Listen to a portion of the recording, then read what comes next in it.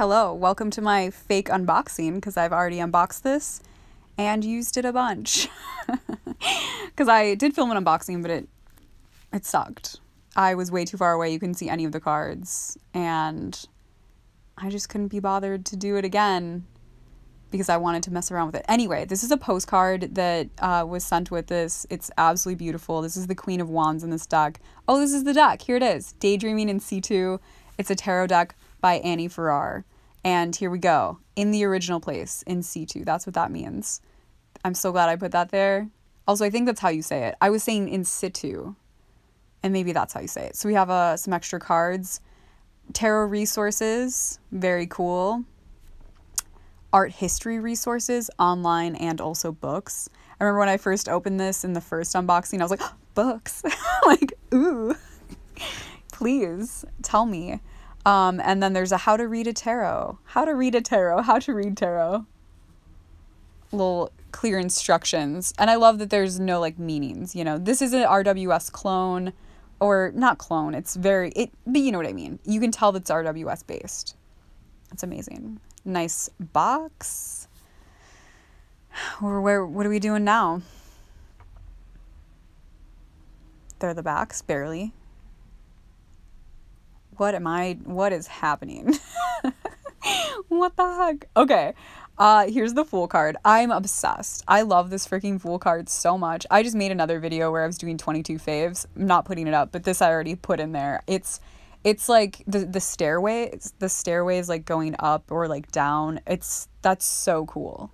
And then like the the colors like that dreamy sort of like cloudy blue purple. It's yeah. Let's it's yeah, it's the Fool. so the stairs it's like in oh my gosh i'm not gonna be able to do this fast enough. Okay the magician i love the magician so much in this deck also. What am i doing? Oh my gosh this will be fun. This is fun. I love this magician card so much. This is i think the only magician card that i've ever been able to relate to um in like a way that like as someone who doesn't publicly identify as a magician here's the high priestess um, as someone who doesn't publicly identify as like uh, some uh, you know that those things it really the magician card is always really difficult for me but the magician card in this deck is perfect. And i'll get into that in a different video at some point uh, this Empress card, I okay, so I'm obsessed with the layering in general, but this card, there's a few cards in here in particular that stand out more than others in terms of when I look at it, I'm literally transported into the card, and the Empress is one of them. The Emperor. So something else I really love about this deck. I mean, I maybe I already just I literally just said it, but it's the layers. It's the so I I'm I love collage decks and I always have loved collage decks. The Voyager de- Tarot was sort of difficult for me because there's so much going on. And in this deck, there's a lot happening. There's a lot of different, like, there's texture and there's layers. But because it's not different objects, because it's these, they are different objects, but it's mostly about the textures and the colors. Um, here with like the, you can see the paper being layered over, which is a different style of, of collage that I typically think of in a collage deck. It's very it's interesting to me. Um, but in this one, the the thing that I'm getting those like intuitive hits, like when we we discuss that, it's from the textures. It's from the looking at the way this you know the the goldenrod like patch in the sky makes me feel inside you know i don't know it's just it's so i'm having such a good time with this deck the lemniscate. So it has those those typical imagery for an RWS also. But I mean, it's, you know, you just read tarot, you read how you read. This is, I love this Hermit card. For 22 faves, I picked this one also. As someone who's struggling with agoraphobia, I relate to the Hermit card um, a lot. And this one really, I don't know, it gives that like particularly like a like the suffocating aspect of it. Another 22 fave Wheel of Fortune. It's just sort of a classic Wheel of Fortune take, I think, but the images chosen are amazing. Maybe I'll do a flip through where I do a good job like showing the cards and holding them up. My goodness, what is happening? I think I was re- rearranging something. Maybe I should have like edited the video before I did a voiceover. Yeah, right. like I could even think ahead to do something such as that. So these cards are not numbered, so you can change 8 and um, 11, Strength and Justice, if you would like. I just kept them in this order because it is an RWS. She's also working on a Thoth collage. Ooh, I cannot wait. Thoth collage, man. That like is music to my ears. So good.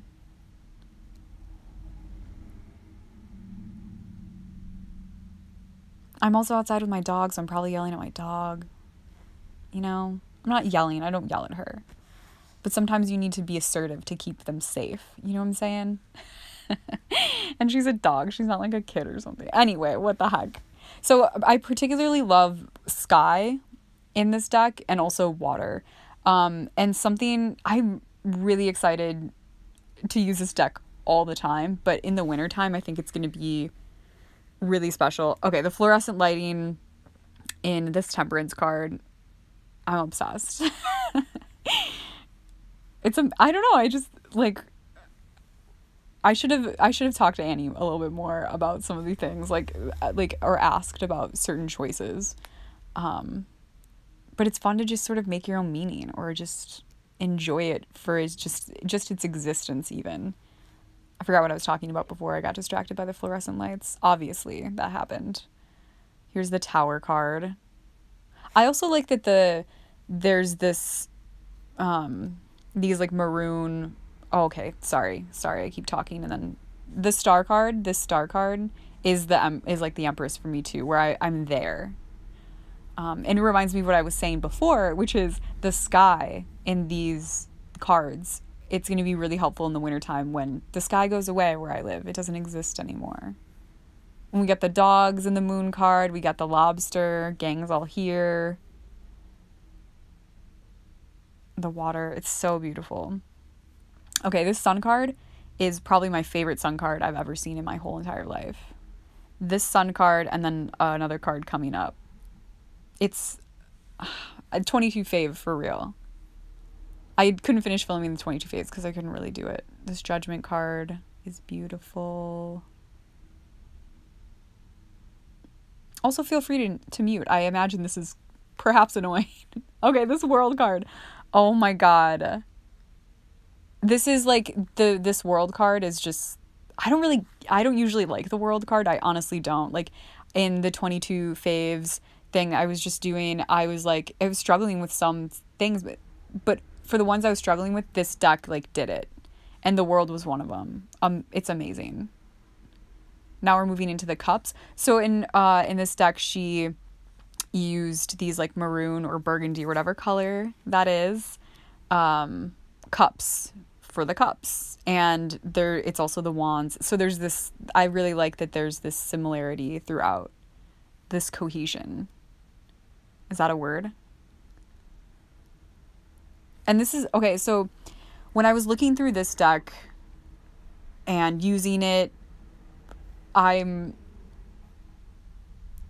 I'm really into the minors. Like usually I feel like the there's like the majors are so good and like oh man, you just like I just think about the majors in certain decks like more often than I think about the minors. And that's sort of changing doing like the deck and walk too. But in this deck, it, it really I noticed that that I was like more taken with the minors. Oh, also not even not just the minors but the court cards. We're to get into them. In the first video um I I laid out all these other the the cards, but I couldn't do it here cuz I was outside. Um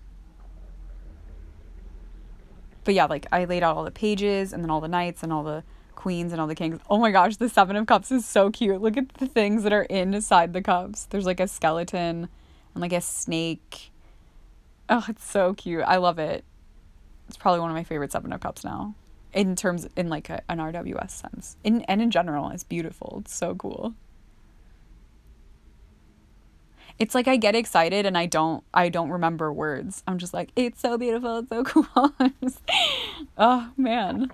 Forgive me.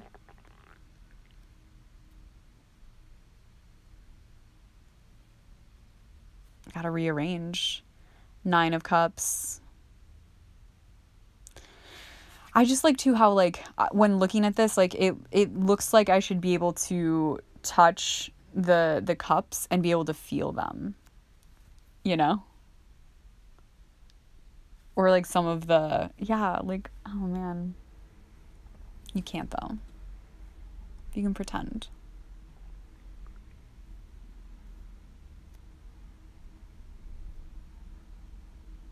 Page of Cups. Yes, look at this.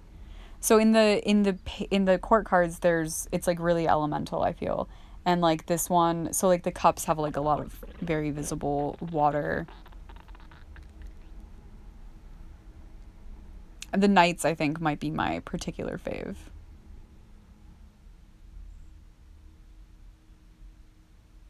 I comment below like what do you think of the the like the layers of oh yes, look at this. This like marbled sky. So beautiful.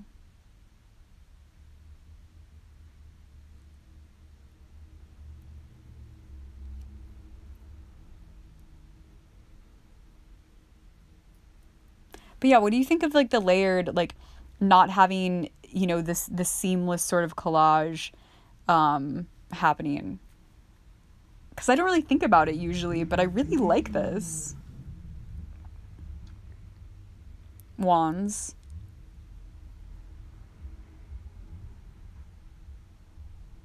And part of the thing, like I mentioned before, is that there's these all these different textures and like these different tones and it's it makes me feel things. There's also something about the angles in which they're placed too. Like, you know, I don't know. I just relate to that in that way. It makes me think of ritual postures or like Butoh, like the poetic movement.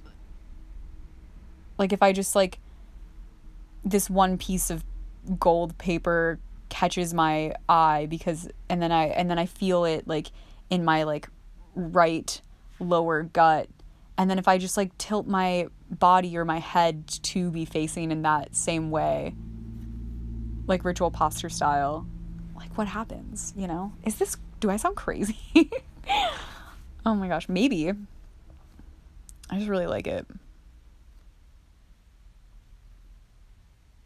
Oh, and I'm like, oh wait, the backs. Let me show you. Funny.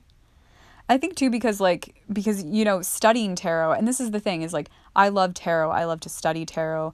I love uh, talking about decks and experiencing different things like that.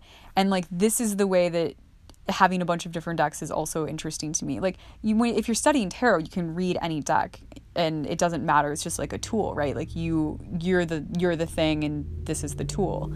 Um but sometimes there's just these like really compelling tools that that bring something else to it or make us feel these certain things. And this particular tarot deck, I feel like, is making me think of or feel things in a way that I hadn't considered almost. Like, I really didn't think about or feel into like the textures in a deck and and the patterns and stuff like that and how that was making me feel, you know? And the wands the the court cards are desert like pyramid stuff. It's really very beautiful. I don't know if that's interesting or not.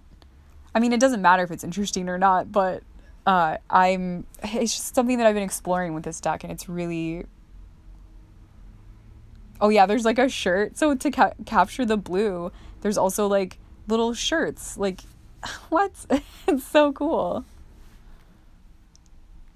Truly truly an artist you know it reminds me of like when I was a kid, my mom was really into photography. And she still is.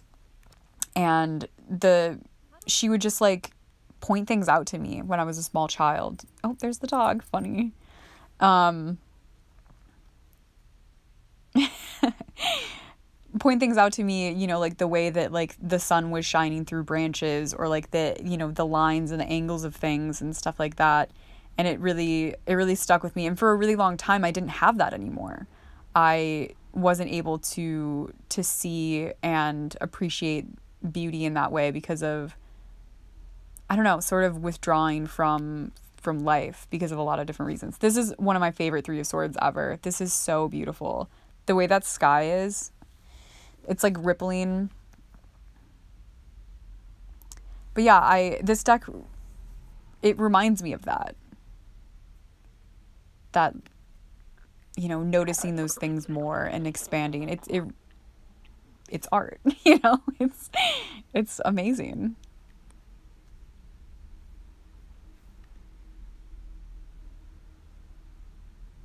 Seven of Swords. I might be going too fast or too slow with some of these, and I apologize. Eight of Swords. I'm not like um love this Nine of Swords. I'm not a a professional. I'm just this is just for fun, you guys. Ten of Swords.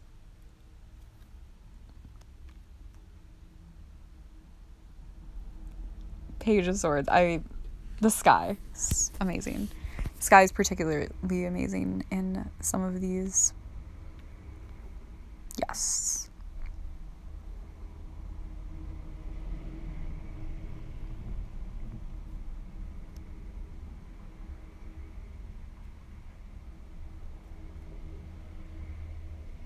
Queen of Swords.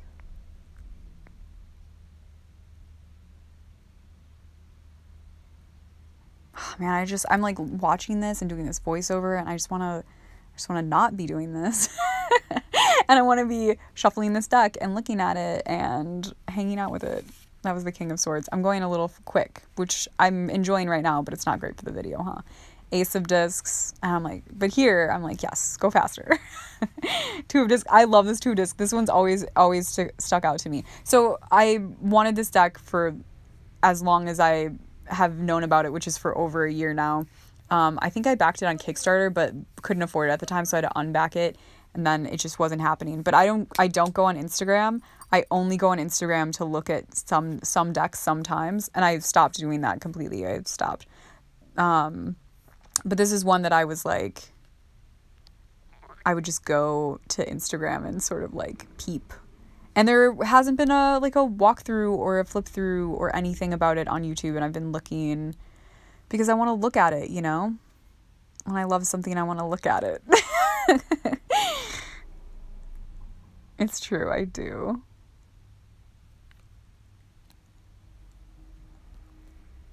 I love this. I love this so much.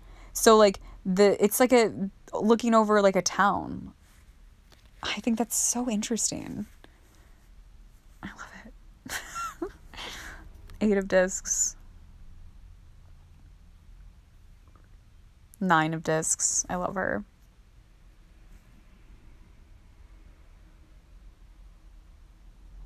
All those trees, man. Ten of discs.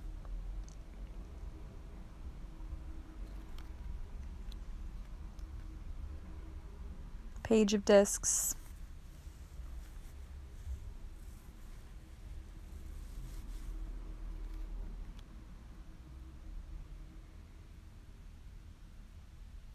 Oh, nine, knight of discs. I said nine of discs.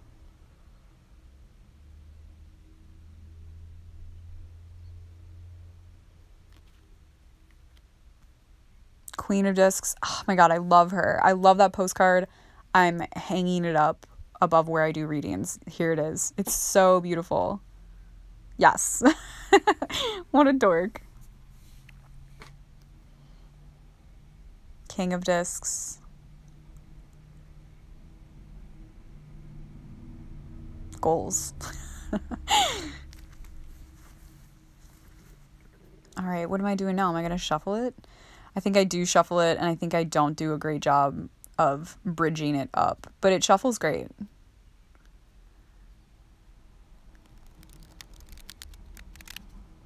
Oh, oh, wait, did I do it well? Okay. I can't really see the like recording thing is And I it's it's a bigger deck too. And I've sm- I don't have small hands. I have long fingers, but I have small hands. I have those spidery. I'm like when I'm an older lady, it's my hands are gonna look so gross and creepy to children. it's got those spidery friggin' hands, man. I guess I'm done. And I'm saying goodbye. Okay, okay, bye.